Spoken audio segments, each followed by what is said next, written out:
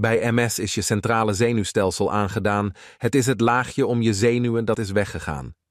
Dat laagje kun je vergelijken met het snoer uit het stopcontact. Je krijgt een enorme schok als je het zonder bescherming beetpakt. Dus dat gebeurt er ook in je hoofd, een kortsluiting die pijn doet of verdooft. In je lichaam ontstaan er diverse klachten, van vermoeidheid tot wazig zicht of juist hele lange nachten. Soms voel je tintelingen, kou of juist hitte, pijn en alles tegelijk. MS is onvoorspelbaar en zo verschillend in werkelijkheid. Je balans kan verstoord zijn, lopen gaat moeizaam voort, of je spieren zijn stijf en in je hoofd voel je je verstoord. Cognitief kan het een uitdaging zijn. Concentratie, geheugen, alles voelt soms zo klein.